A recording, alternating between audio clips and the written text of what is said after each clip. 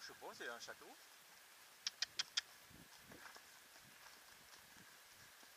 Je sais pas ce qu'il y a là-dedans.